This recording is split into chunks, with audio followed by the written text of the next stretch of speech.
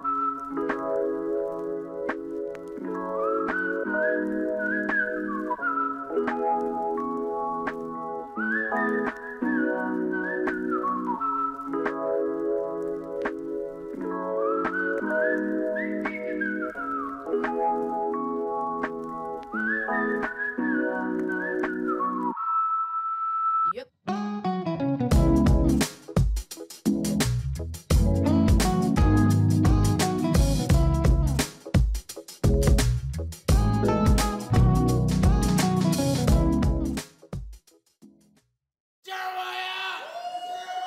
Jaquan?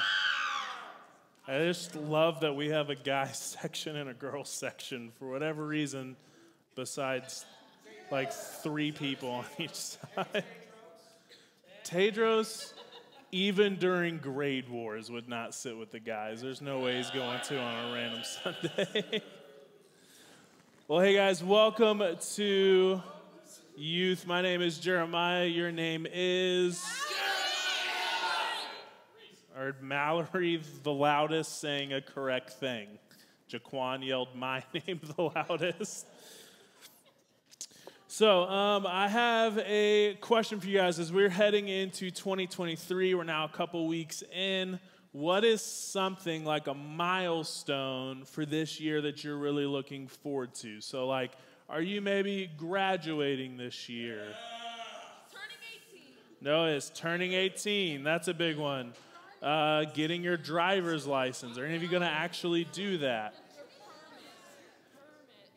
Are you getting your permit this year? A couple of you.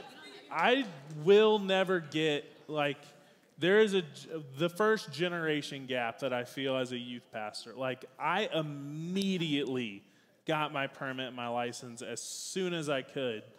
And some of you guys are like, ah, I'm going to be 42 and still have my parents drive me everywhere. I have no desire to get that. A lot. You need to have your own license. so, one of the things for this year for me personally that I'm most excited for, unfortunately, I have a sick toddler, so my wife is not here. But if you know my wife, her name is Ellie. She's great, love her very much. This summer, we celebrate 10 years of being married together. So I'm very, very excited for that. Um, yeah, you can clap that. Let's clap for it. We've been together 12 years in August, and here's what I learned about her 12 years ago. So, my wife will always love one thing more than she will ever love me, more than she loves our dog, our kids, her minivan that she's obsessed with. There's one thing, no matter how bad her day is, no matter where she's at, that she wants the moment she comes in the door, and that is an ice cold Dr. Pepper. She loves Dr. Pepper. So does Mallory. Dr. Pepper, Jesus, me is probably the order. Whenever we were stuck at home, like for COVID, and they were like, find whatever you have in your house to take communion with. It was Dr. Pepper every time in our house.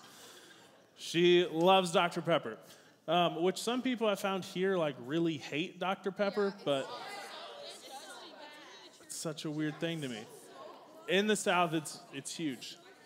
So she loves Dr. Pepper and she loves Mexican food. And so, what, yes. So, our date nights are almost always going to get Mexican food. And so she will walk in, she'll be doing like a little happy dance because she's about to get cheese dip. And as always, the waiter walks up and says, What would you like to drink? And she always says, A Dr. Pepper. Dr. Pepper.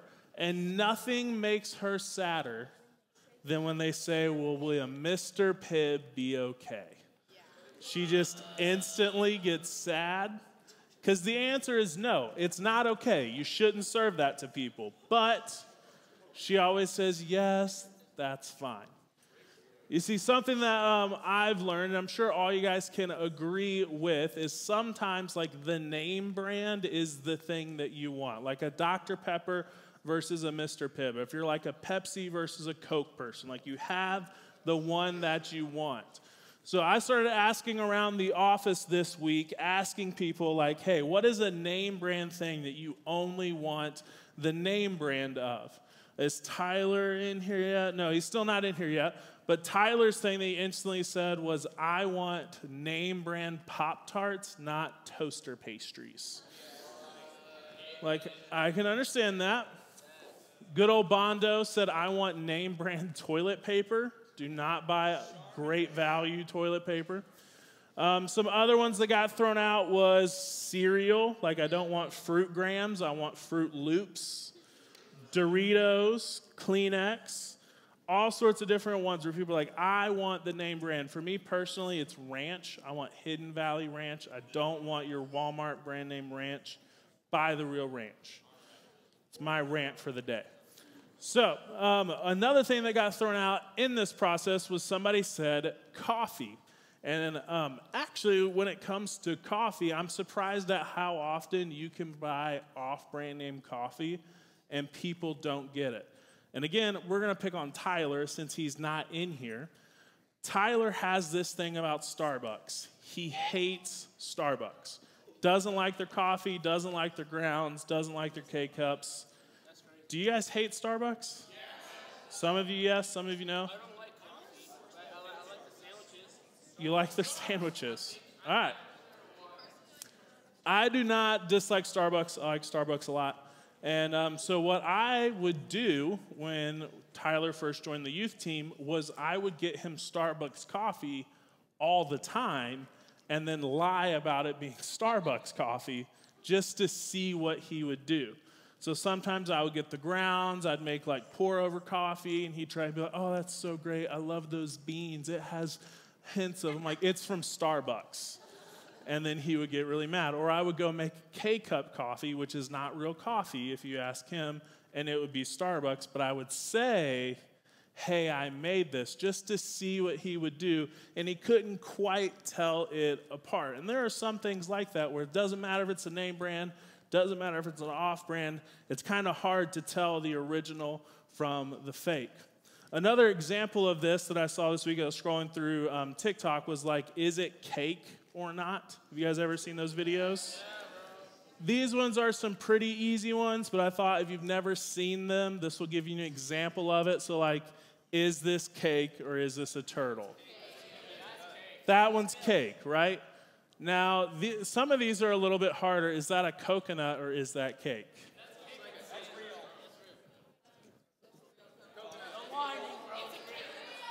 That one is real.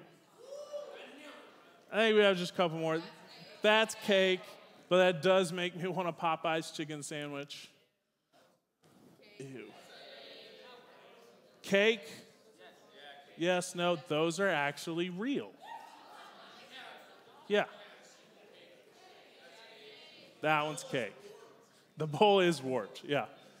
So sometimes it's hard to tell the real thing from a fake, and sometimes it's super easy to tell if something is the real deal or if it's fake. And you guys have probably already experienced this in life, and if you've not yet, I guarantee you, you will. As you go throughout life, you'll begin to see that this applies to people.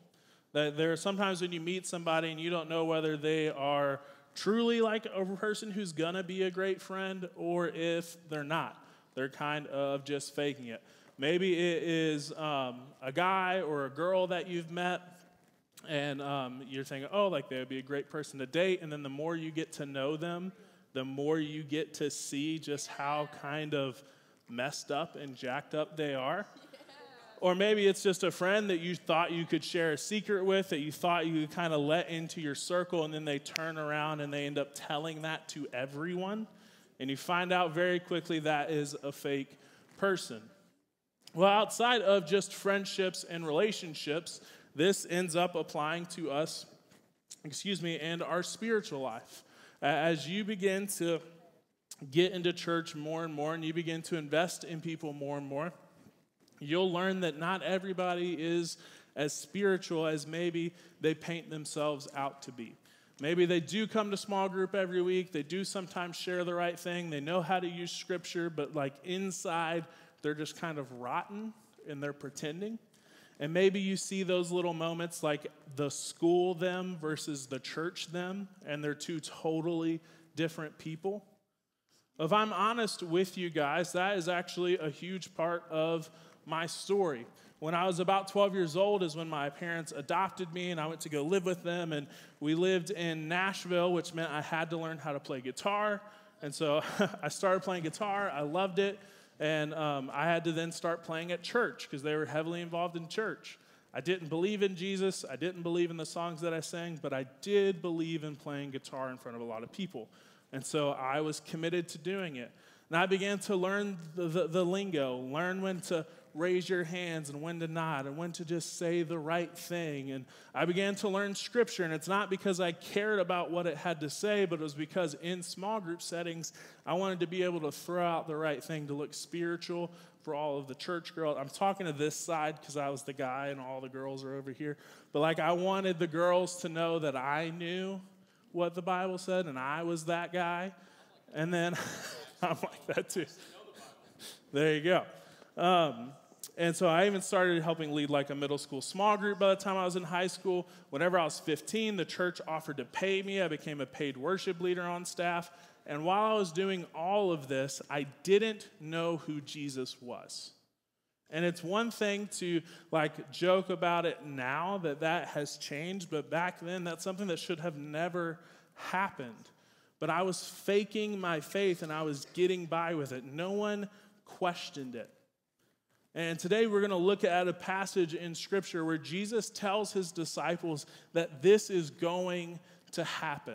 There are going to be fake followers of me everywhere, and you need to be on guard, and you need to know this kind of core lesson that he gets at. It's from the book of Matthew. Everybody say Matthew. Matthew. And it's in chapter 13. So if you have your Bibles or your phones and you want to follow along, we're going to be in chapter. Very good. So, Matthew is one of four very special books in your Bible. There are four Gospels. Very good job. Now, in those Gospels, um, this one that's written by this guy named Matthew, a gospel just means it's a collection of the stories about Jesus. And now, in a lot of the stories that Jesus told, he told these things called parables. Everybody say parables. parables. A parable is a story with a secret meaning that's not a literal story. Does that make sense? The middle schoolers were very confused by that. Some of you are nodding yes, some of you are like, yeah, I'm still a middle schooler. Uh, as we tell this story, you'll begin to see what I mean. So Jesus gets his disciples together and he starts telling them this parable. This comes from Matthew chapter 13. We're going to start in verse 24. It says, Jesus told them another parable. The kingdom of heaven is like a man who sowed a good seed in his field. But while everyone was sleeping, his enemy came and sowed seeds among the weed that went, sowed weeds among the wheat and then went away. When the wheat sprouted and formed heads, then the weeds also appeared. Now, how many of you were like raised on a farm? Okay, just about nobody. There's one person in the back. How many of you were in like 4 H? Very few of you. So I'm going to assume most people don't know what this means before I butchered it, but even past that. So here's the breakdown of what Jesus is saying. There is a man with a field. We all get that concept, right? And he goes out and he plants a bunch of good seeds that's supposed to bring up wheat. Now, what do you use wheat to make? Bread. Bread, gluten, all that type of stuff, right? Anything that's delicious, wheat is probably in. Now, as he ha- has done this, he's planted all of his seeds. An enemy comes and he starts planting something that's going to raise up a weed. Now, I grew up in the South, and in the South, they use the King James Version of the Bible a lot, which is like a really old school version. And it actually uses a better word than weed. It uses the word tare. Everybody say tare. Tear is a specific type of plant. And I have a picture of what wheat looks like next to a tare. Maybe. There we go. So on this side, this is wheat before it's fully ripe, and this is a tare before it's fully ripe. And they look very similar. And so, with that in mind, here's this next section of scripture, starting in verse 27. The owner's servants came to him and said, Sir, didn't you sow good seed in your field? Where then did all of these weeds come from? An enemy did this, he replied. The servants asked him, Do you want us to go and pull them up? No, he answered, because while you're pulling the weeds, you may uproot the wheat with them. Now, again, there's kind of two reasons why he's saying, I don't want you to go and start weeding this field of wheat. And the first, if we pull up that picture again, is you can't really tell a difference while it's growing between the wheat and the tares, right? They look identical. They're both green, they both have a stalk on them, they're both going to be about the same height. It's not going to work. And another reason is if you've ever planted a garden and you go in and you start ripping stuff up while everything is still just budding and just starting, you're going to uproot the good plant. And so this guy's saying, hey, just leave it alone, let it rest, and eventually a harvest time will come. And here's how this passage ends. Verse 30, he says, Let both grow together until the harvest. At that time, I will tell the harvesters first collect the weeds and tie them in bundles to be burned. Then gather the wheat and bring it into my barn. Now, at harvest time, you can tell wheat and tares apart in an instant. Now, here's a picture of what they both look like at harvest time. And you can see the grain grows different. On wheat, it's straight. On tares, it's kind of zigzagged. But the other thing, which is kind of hard to put in a picture for you guys, if you've ever seen a field of wheat at harvest time, it grows up and then it starts to lay over like this because it's a really skinny stalk with this grain at the top. Tares, on the other hand, stand straight up. So even though they're the same height, you could walk out there and easily tell everything that's standing straight up, just go through, cut it off, bundle it together, throw it in a fire. And then everything that's laid over, that's going to be the good wheat. We're going to take that and we're going to store that. Now, do you guys think Jesus gathered his disciples together and just like, hey, let me give you guys some advice on farming? No, right? That's what a parable is. He's telling them a story, but underneath it, there's a hidden meaning that he's trying to get them to understand. And whenever we look at this parable with his meaning, we can begin to make sense of what he's talking about. First, there's the man with the field. That person is Jesus, right? And he's going through and he's planting all of these good seeds. The reality is, these plants, that's us. And as he's going through, he's planting them, there's, he only plants these good seeds. And then an enemy, that's Satan, the devil, the deceiver, whatever you want to call him, he comes in, and it's really important to note he can't uproot the good plants, so he plants bad plants. He plants things to deceive us, to throw us off. And then Jesus talks about a time of harvest, and that is Judgment Day, Armageddon, whatever fancy word you want to call it. But Scripture tells us there's going to be a day that Jesus looks at each and every one of us and says, Hey, you didn't really know me, and you're going to go somewhere not very fun, right? The tares didn't go have a party. And then he takes everyone who does, and that's the reality of heaven versus the reality of hell. And whenever we look at this parable through that lens, there's kind of three key things that I want us to all understand. The first thing is whenever all these plants are just budding, they're growing, that's our life during this phase, Jesus says it's not your job to go through and try to weed. It's not your job to try to figure out who's who. It's not our job to go around and judge people. During this phase, it's just our job to love people. There's not another way around it. Jesus says it's my job to judge people's heart, and I'm going to wait until the day of harvest to do that. The second really important thing to know, and this should be a, really good thing for you if you're someone who has made a commitment to follow Jesus, you've been baptized, you said, God, I'm all in, and that's that Satan can't steal you from God. In the story, Satan can't come in and he doesn't uproot people. He will deceive you, he will lie to you, he will do everything he can to derail your life, but he can't take your salvation from you. And the book of Romans, the Apostle Paul words it this way He says, I am convinced that nothing can ever separate us from God's love neither death nor life, neither angels nor demons, neither our fears of today or our worries about tomorrow. Not even the powers of hell can separate us from God's love. No power in the sky above or the earth below, indeed, nothing in all creation will ever be able to separate us from the love of God that is revealed in Christ Jesus our Lord.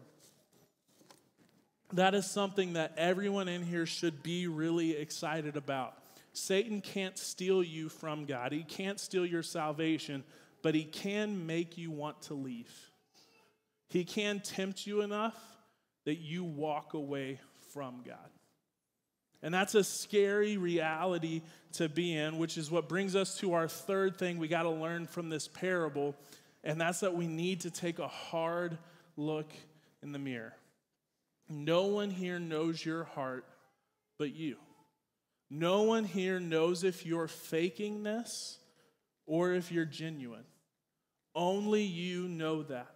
Only you can tell us where God's at in your life, where God's at in your heart. And you can be someone who's like me and you can fake doing church for a really long time but I had a moment when I was 16 standing on stage in front of 2,000 teenagers leading worship, and they're over here baptizing kids like crazy, and I'm over here singing lyrics. I'm like, God, I don't know what this means. I know when to say the right words, I know when to tell people to raise their hands, but God, I don't know you. And so it was this mixture of a moment of like both shame of admitting my lie in front of everyone, but joy when I laid down my guitar and basically jumped in the baptistry and said, I need to be baptized and I need to follow Jesus. In that moment, I switched from being a tare or a weed to being wheat, to being who God intended me to be. And for some of you, you have been pretending to do church for so long but when you look at your life, you know you are absolutely no different than any of your friends who don't know Jesus. And maybe you have a couple of little boundaries that you're like, I'll never cross this because if I do, I know there's no coming back, right? Like, I'm not sleeping with my boyfriend or girlfriend. I'm doing everything else that I can. But since I'm not doing that, I'm okay and I'm a Christian. It's not how it works. Or maybe for you, it's the way that you cope whenever you're alone whether that's a website that you choose to go to, maybe it's something you choose to do to your own body, maybe it's thoughts that you choose to wrestle with and not tell anybody. All of those are different versions of self harm. And Jesus has been screaming, I'm here to give you freedom. But instead, we choose to live in our own prisons. No one knows what you're wrestling with in your heart except for you. And the reality is, is that we serve a God who looked at you and said, You're worth dying for. Will you just believe and follow me? Will you just give me every burden that you have and follow me? Everything you've done, everything that's been done to you, I can work with. You just have to choose to follow me. Give up chasing nothing and start running to the Father and following Jesus. Maybe for some of you, you ha- have done church for a while and uh, you do know the right things to say, and you said a prayer once at a camp, and then somebody talked about baptism. You're like, that kind of freaks me out. Why is there this water tank? Why do I got to do this in front of people? I'm just going to press the brakes on that. Listen, when we look at the Bible, every time someone chooses to follow Jesus, they believe and then they are baptized. Jesus said, This is your public uh, pronunciation of your faith. This is the moment where you tell everybody, I'm all in. And some of you have been standing at the ledge and you're not ready to take that step yet. And Jesus is saying, just trust me. And then for some of you, you, you know, you've done all of those things. You know, Jeremiah, I've checked every box. I know I know who Jesus is. I know I know right from wrong, but I've been choosing wrong a lot. What do I do next? Luckily, Jesus knew everything you would do, past, present, and future, and he said, You're still worth it. And there's this lovely thing called grace that's going to cover you for your life. You just have to choose to come home. You just have to choose to say, Jesus, forgive me, I'm sorry, and I want to chase after you. I can tell just by the look on some of your faces that some of you are, are getting this and you're realizing that you're not where you want to be spiritually. We're going to just take a, a few minutes and sing a worship song together. And during that song, I'm going to challenge you to take a step of faith and go talk to a leader. They're all across this room. They're not here to judge you, they're just here to love you and show you who Jesus is. The song that we're going to sing is Run to the Father. It's one of my favorites, and I love it because no matter where you're at in your relationship with Jesus, your next step is to run to the Father. Some of you need to do that for the first time and ask for forgiveness and believe in Jesus for the first time. Some of you need to run to the Father and say, I'm going to take this step of obedience and be baptized. And some of you need to run to the Father and just say, God, I'm sorry. My favorite line in this song is the start of the chorus I run to the Father and I fall into grace. He understands where you're at. He doesn't hate you or dislike you because of it. He's just asking for you to come home. Let's pray. Father, we come.